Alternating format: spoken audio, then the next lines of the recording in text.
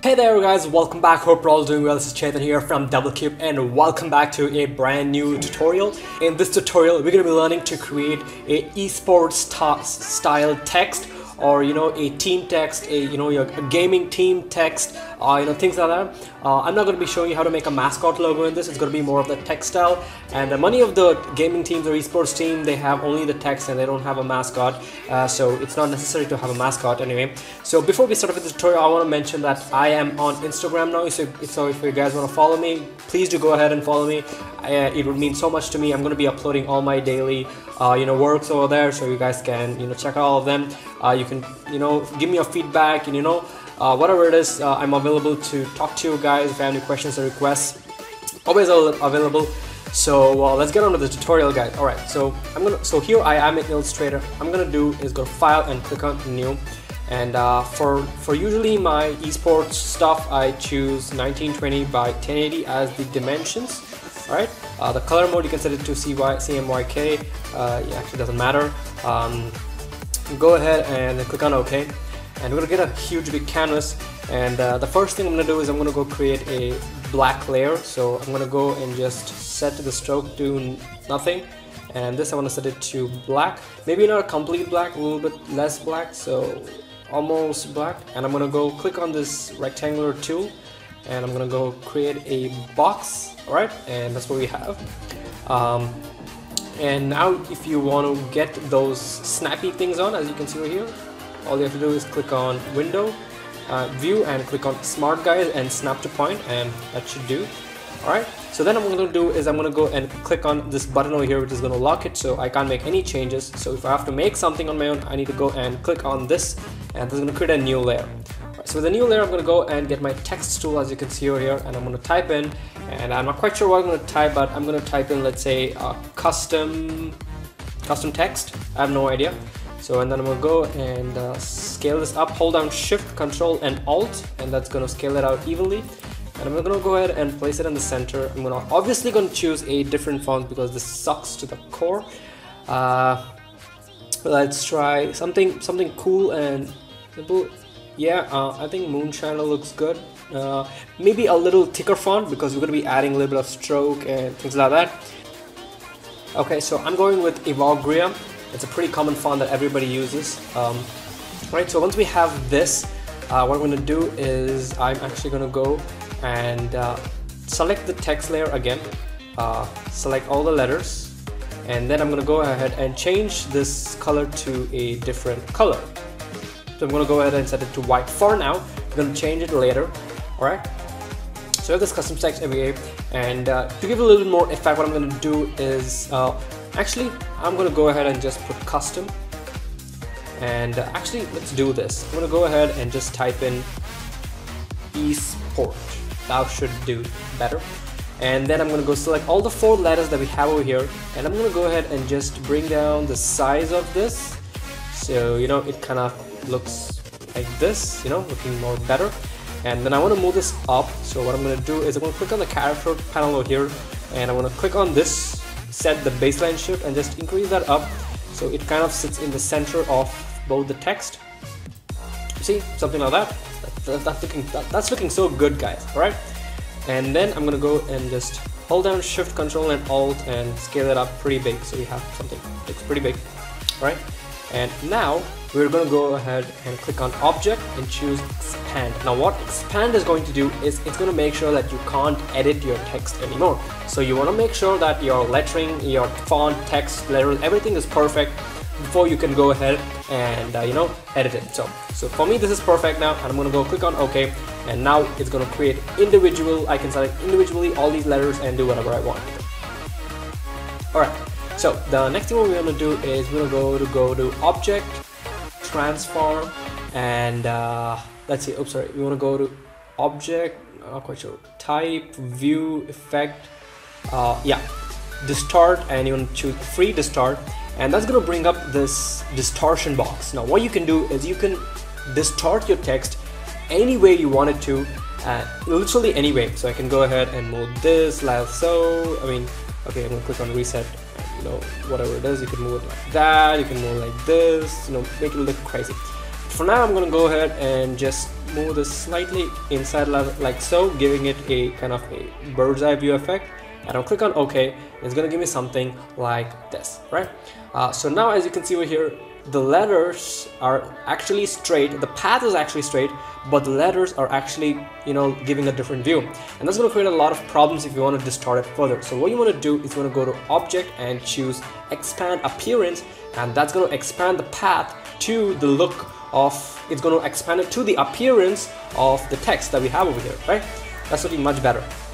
Now let's go and go to uh, Object, uh, yeah, Effect, Warp, and I'm gonna choose arc lower and I'm gonna go bring this arc? This options over here. And I'm gonna go ahead and set it to horizontal it's horizontal selected oops horizontal.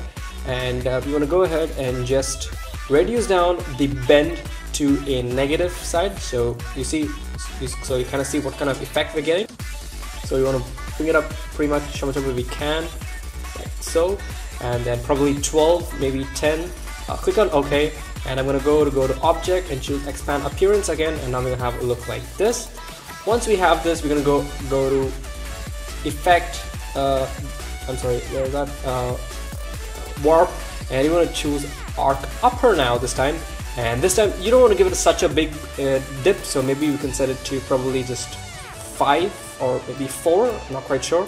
And uh, click on OK and we're gonna go to object and choose expand appearance again and uh, wow this is looking so good. So now we can go ahead and color up this cool dude.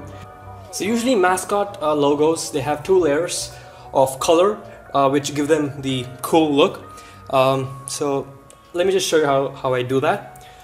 So let's just go ahead and increase it a little bit more okay? And now with this text selected I'm gonna go to object path and click on offset path. Now if I click on preview you see it kind of offsets the entire text that we have over here. But before we do that, we want to go and choose Control C and Control F. What that does it's going to copy it and paste it exactly on the text. So if I move this up, you see we have two copies. That's cool. That's cool. And now on the top one, I'm going to go to Object, Path, Offset Path, and I'm to click on Preview, and that's going to give us this extra bevel but I want it to be on the inside. So I'm gonna go and choose the offset to minus 10 and we see we have this nice inner bevel and we'll click on OK and now we have two paths. One is this and the other one is the outside path. You guys might not see the difference but let me just show you the difference. Right, so if I select this one and I'm gonna come over here and click on this gradient tool and I'm gonna drop in a gradient. Now, as you can see, it's dropping a gradient on each of the letters separately. And if I set the angle to 90 degrees, uh, well actually it doesn't matter now because everything is, you know, that's, that's fine.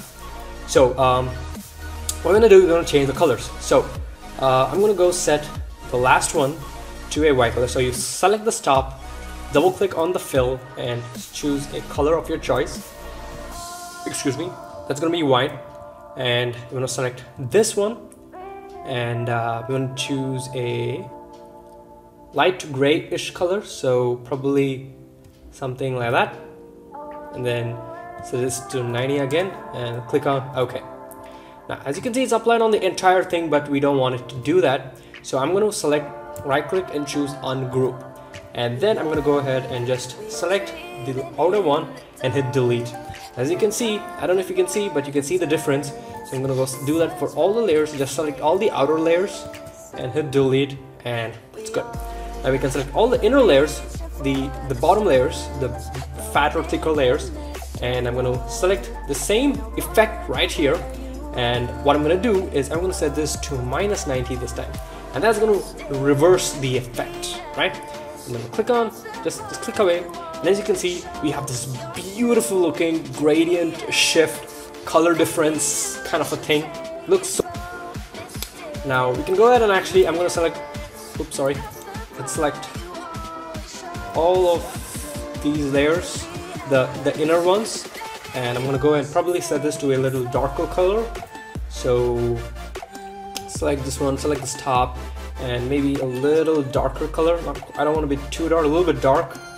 Let's see something around here, click on OK, uh, and then set this to 90, click OK, and uh, that's looking good. Then let's do that for the bottom ones.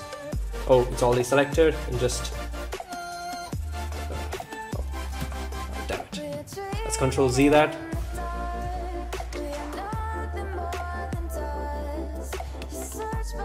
Select this then press I. You can select the eyedropper tool. Just click on the gradient. It automatically gets the gradient. Set this to minus 90 and click away. And uh, that should look much better. This looks way better much better now. Alright so now let's make it look more cool. So I'm gonna select the outside layer I'm gonna go to object I'm gonna choose path and I'm gonna choose offset path again. This time I'm gonna go set this to 20 on the plus or maybe even 30 again it depends on the kind of font you're choosing right? Maybe I'm gonna set with 25 now and then i click on OK and then I'm gonna go come here to the Pathfinder tool and just click on this button which says unite and that creates the entire thing into one single shape. And I'm gonna click on this color and I'm gonna set this to a pure black click OK. And I'm gonna go select right click and choose arrange and choose send to back. As you can see this is how it looks like. It looks really good. It looks so cool and insane. Only thing we can do is we can finish it off uh, by making it more better by selecting the path. So we're gonna go right click and choose ungroup. And then with all these layers selected I'm gonna press uh, P on my keyboard and the minus button which is going to get me the pen tool and the minus key. And I can just go ahead and just start clicking on all these points and uh, you know that's going to get rid of the entire thing. But that's going to take time so the other alternative is to put this thing back on uh, get the the rectangle tool or get the pen tool itself and just start making uh, you know all the all the you know cover covering up all those edges that you don't want so let's let's see uh, let's come over here. All right and we can come right over here and just let's let's let's grab a nice curve. So it kind of matches the whole thing. Right and then click on this and you can come over here. Hold down shift to get a straight line which I'm going out of the box. Click on this oops control 0 to center and then we can go press control. So we can right click and choose arrange and choose center back. And then we have something that looks like this. So everything is beautifully covered up. And we can actually go ahead and move this. So if you want to move any points you want to select and choose press A on the keyboard or you can come over and choose the direct selection tool. To select the point which whatever point you want. And you just want to move it up however you want it to and uh, that should look that should look really good. We can actually go ahead and select this one. We can add a point in the center like in the dead center. Uh, yeah. And then we can just select the point and we can bring it down like so. We can click on here which is going to convert it into a smooth anchor point. So we get the nice curve as you can see right over there. Let's go ahead and just increase this yeah that looks way better way better now. And then you can select all both the both the black ones and then you can click on this and choose unite and that's going to create us a single black object. Looking good. Now another thing you want to do is I mean that's completely up to you but it's obviously an addition. So we can go and uh, select the rectangle tool. Just create a small rectangle not too big right? I think uh, something like this should suffice and uh, as you can see we want it to be right in the center. So it's going to be in the center. And then you can uh, select uh, these anchor points. So press A on your keyboard and you can select this. Hold down shift and move the arrow keys. So I'm going to do one two three four five. The same thing over here. Hold down shift and do one two three four five. Uh, maybe six seven the same on the other side. Six seven equal distances. Select both of these come on over here and just select this to unite. And now that's going to make it make everything disappear but the only reason is that we want to send it to back. So right click and choose arrange send to back and boom there we go. There we have it. So now once we have this text let's go and click on this go to object uh, path uh, offset path. And let's do a 25 offset again. Maybe this time let's set it to 30 and then click on OK and this time I want to change it to a different color so let's just go get a dashing red, cool looking color.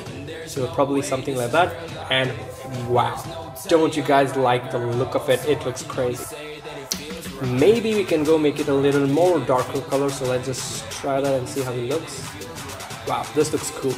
Now we can go ahead and add in our own text over here. So I'm just gonna go type in esports. I, I don't know, team, not quite sure.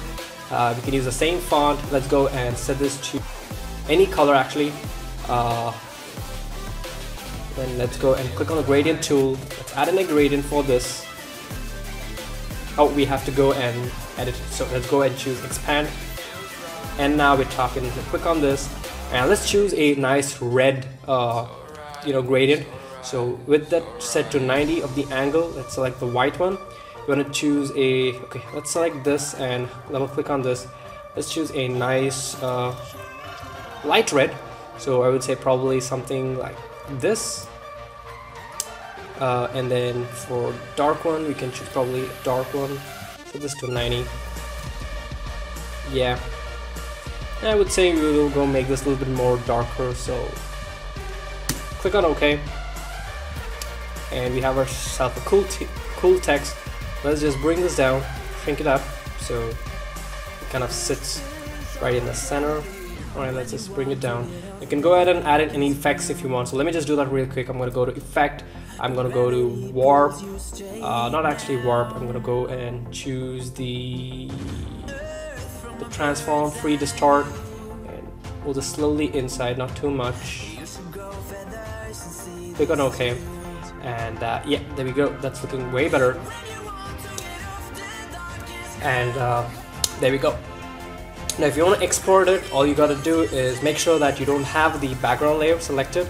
So you can hide the background layer, you can go press Ctrl Alt Shift S and that's going to give us the save for web format format. You want to choose png jpg whatever format you want. To click on save and uh, you are good to go so uh, that is pretty much it for this tutorial guys. Thank you guys so much for watching. Hope you guys really enjoyed it. If you did, feel free to give me a thumbs up and subscribe for more content. If you have any questions or requests, feel free to mention them in the comment section down below and I'll see you guys in my next video. So till then, take care and bye bye.